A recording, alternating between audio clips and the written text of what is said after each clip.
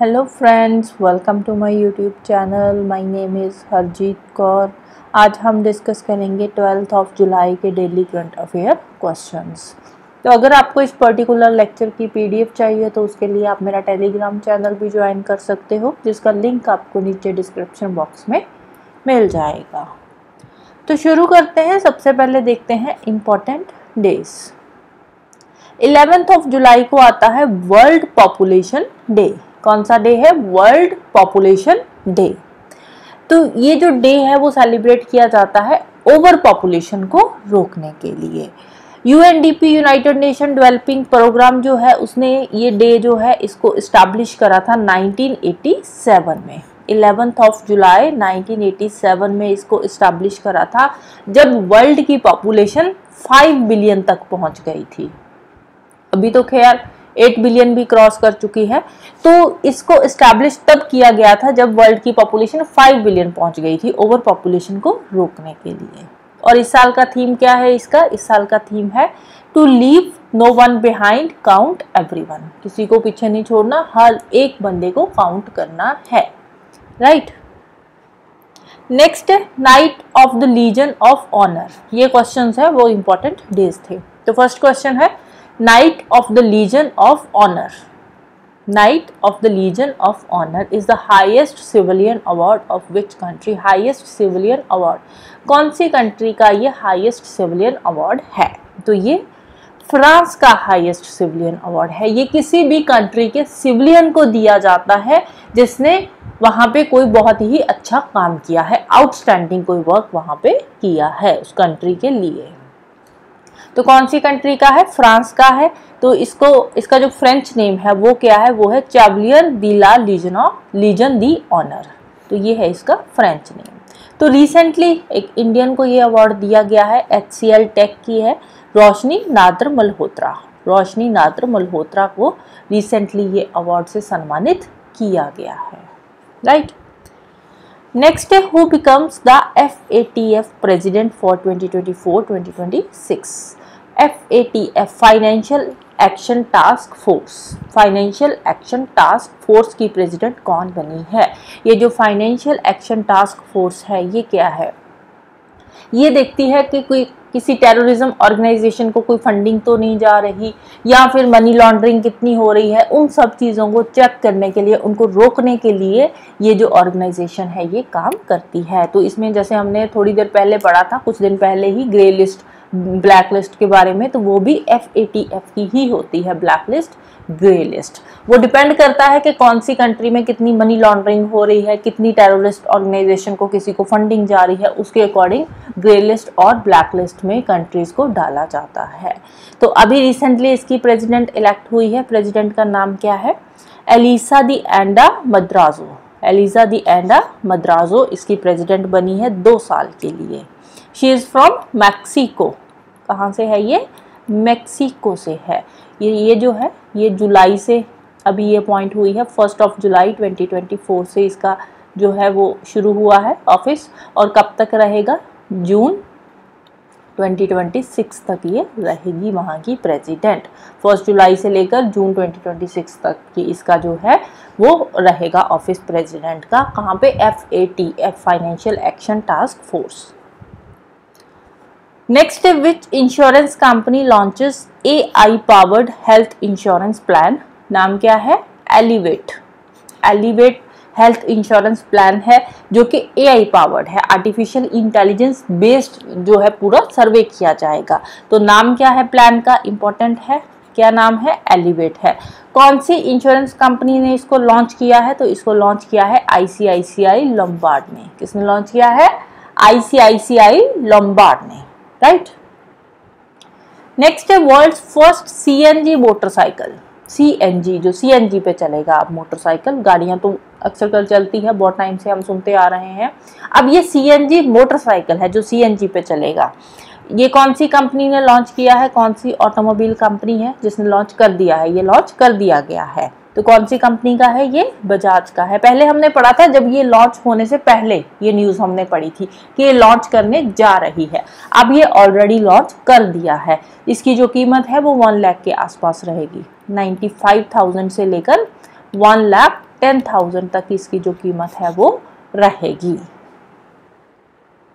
Next है which aircraft offering premium economy on its narrow body aircraft premium economy हम जब travel करते हैं, एक तो इकोनॉमी क्लास होती है, एक बिज़नेस क्लास होती है राइट अब ये एक नई क्लास इन्होंने निकाली है दैट इज़ प्रीमियम इकोनॉमी तो जो इकोनॉमी क्लास है, उससे थोड़ी सी बेटर होगी और बिज़नेस क्लास से थोड़ी सी नीचे होगी। तो दोनों के बीच में इन्होंने एक और क्लास निकाल दी है दैट इज़ प्रीमियम इकोनॉमी अब इकोनॉमी में भी ट्रैवल कर सकते हो प्रीमियम इकोनॉमी में भी ट्रैवल कर सकते हो और बिज़नेस क्लास में भी ट्रैवल कर सकते हो।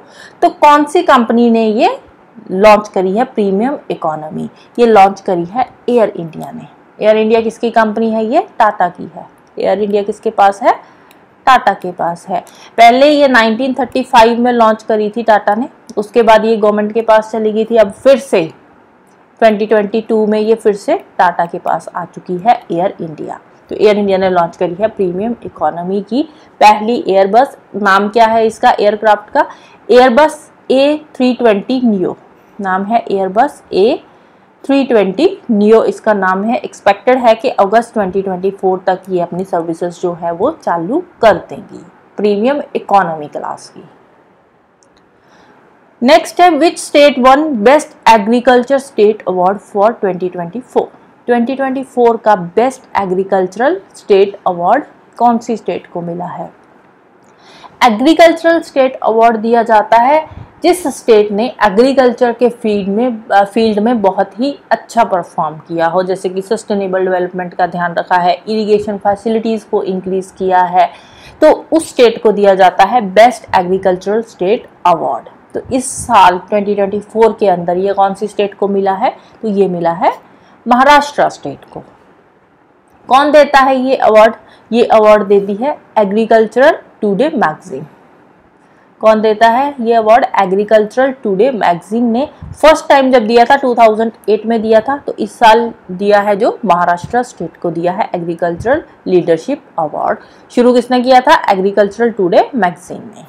राइट तो इसके अलावा अब देखो सस्टेनेबल डेवलपमेंट में बहुत अच्छा परफॉर्म किया है महाराष्ट्र ने नो डाउट इरिगेशन फैसिलिटीज़ को इंक्रीज़ किया है। इसके साथ साथ एक जो इंपॉर्टेंट स्टेप उठाया है, बाकी चीज़ें तो चलो नॉर्मल होती है। लेकिन जो इम्पोर्टेंट स्टेप उठाया है महाराष्ट्र ने, वो क्या है? Launch of the country's largest bamboo mission bamboo mission launch किया है। महाराष्ट्र ने बैम्बू मिशन लॉन्च किया है, जिसके तहत 21 लाख हेक्टेयर का जो एरिया है, वो इन्होंने कवर किया है अंडर द मिशन बैम्बू तो बैम्बू मिशन कौन सी स्टेट से रिलेटेड है? जिसके चलते हुए ये जो leadership award agricultural leadership award मिला है तो वो महाराष्ट्र स्टेट को मिला है। Next day where is first plant clinic and soil testing laboratory in Punjab अब देखो ये जो न्यूज़ है ये पंजाब के एंगल से थोड़ी ज़्यादा इंपॉर्टेंट है कि पंजाब में पहला जो Punjab clinic sorry plant clinic and soil testing laboratory है वो कहाँ पे सेटअप करी गई है? अब ये जो पहली है ये पहली plant clinic and soil testing laboratory है। पहली है तो इंपॉर्टेंट है ही है। तो यहाँ पे क्या किया जाएगा? यहाँ पे फ्री सॉइल टेस्टिंग करी जाएगी। राइट right, जो एग्रीकल्चरल लैंड है वहाँ पे फ्री सॉइल टेस्टिंग करी जाएगी। तो पंजाब में कौन से डिस्ट्रिक्ट के अंदर है? तो ये है मोगा डिस्ट्रिक्ट के अंदर। कौन सा डिस्ट्रिक्ट है? मोगा डिस्ट्रिक्ट है। नेक्स्ट है name the first state to adopt a road safety action plan for ten years कौन सी ऐसी स्टेट है जिसने आने वाले दस सालों के लिए एक रोड सेफ्टी एक्शन प्लान जो है उसको अडॉप्ट किया है? टारगेट क्या है? इसका टारगेट है कि हम 2030 तक 50 परसेंट जो रोड एक्सीडेंट्स है, उसको कम करेंगे। 50 परसेंट तक, ठीक है? पूरे तो नहीं हो पाएँगे। अभी 10 साल का है ये एक्शन प्लान 10 साल तक चलेगा। लेकिन टारगेट है कि 2030 तक 50 परसेंट तक हम जो रोड एक्सीडेंट्स है, उसको कम कर देंगे। कितने? 50 परसेंट तक रोड एक्सीडेंट्स कम कर देंगे। राइट तो इसके लिए क्या किया जाएगा? अच्छी सड़कें बनाई जाएगी, साथ में ट्रैफ़िक रूल्स का प्रॉपर ध्यान रखा जाएगा टू व्हीलर्स का इवन के जो पेडेस्ट्रियन होते हैं, उनका भी खास ध्यान रखा जाएगा। जो फोर व्हीलर्स होते हैं हेलमेट की प्रॉपर सेफ्टी सीट बेल्ट लगाना, इन सब चीज़ों को ध्यान में रखते हुए रोड सेफ्टी एक्शन प्लान जो है वो अडॉप्ट किया है आने वाले दस सालों के लिए। कौन सी स्टेट ने? फ़र्स्ट स्टेट है तो स्टेट का नाम है राजस्थान। कौन सी स्टेट ने लॉन्च किया है? राजस्थान ने लॉन्च किया है। किसकी असिस्टेंस से वर्ल्ड बैंक की असिस्टेंस से वर्ल्ड बैंक की हेल्प से ये जो प्लान है, वो लॉन्च किया गया है। तो इसको अब तीन स्टेजेस में इम्प्लीमेंट किया जाएगा। इम्प्लीमेंट तीन स्टेजेस में किया जाएगा। कौन कौन सी? जो पहली स्टेज है, वो है 2025 से 2027 तक चलेगी। सेकंड स्टेज 2027 से 2030 तक चलेगी। और थर्ड स्टेज रहेगी 2030 से 33 तक राइट नेक्स्ट है यारोस्लावा महुचिक यारोस्लावा महुचिक। इन्होंने वर्ल्ड रिकॉर्ड तोड़ा है हाई जंप का। किसका वर्ल्ड रिकॉर्ड तोड़ा है? हाई जंप का वर्ल्ड तोड़ा है वर्ल्ड रिकॉर्ड तोड़ा है यारोस्लावा महुचिक ने। राइट अब कितने मीटर तक की इन्होंने हाई कितने मीटर की हाइट तक इन्होंने हाई जंप लगाया है, जिसके चलते हुए इन्होंने वर्ल्ड रिकॉर्ड तोड़ा है तो हाइट है 2.10 मीटर की हाइट तक इन्होंने वर्ल्ड रिकॉर्ड बनाया है हाई जंप का। राइट इससे पहले जो वर्ल्ड रिकॉर्ड था ना, वो 1987 में बना था, जिसको इन्होंने अब 2024 में जाकर तोड़ा है। और 1987 का जो हाई जंप का रिकॉर्ड था, वो था 2.09 मीटर का। कितने मीटर का था? 2.09 मीटर का था। तो अब इन्होंने जो हाई जंप का रिकॉर्ड बनाया है that is 2.10 metre. And she is from Ukraine कहाँ से है ये? यूक्रेन से है। तो अब कहाँ पे इन्होंने ये जो वर्ल्ड रिकॉर्ड तोड़ा है 2.110 मीटर का? In the Paris diamond league Paris diamond league में इन्होंने 2.10 मीटर की हाइट का जंप लगाकर वर्ल्ड रिकॉर्ड तोड़ दिया है। लास्ट जो था 2.09 का था 1987 से वही चलता आ रहा था। And she is from Mexico नहीं है यूक्रेन से है। She is from Ukraine right Ukraine से है। आप ठीक कर लेना इसको। नेक्स्ट है who is the flag bearer for Paris Olympic 2024 Paris Olympic 2024 में फ्लैग बियरर कौन रहेगा? इंडिया के लिए। तो फ्लैग बियरर है हमारे पीवी सिंधु। इंडिया की कौन है? PV Sindhu along with Sharath Kamal. Along with Sharath Kamal. PV Sindhu and Sharath Kamal to be the flag bearer जो कि पेरिस ओलंपिक्स होने जा रहे हैं। तो यहाँ पे शेफ द मिशन कौन होगा? शेफ द मिशन है गगन नारंग। गगन नारंग है शेफ द मिशन और पीवी सिंधु एंड शरद कमल है फ्लैग बेरर। अब गगन नारंग ने रिसेंटली मैरी कॉम को रिप्लेस किया है।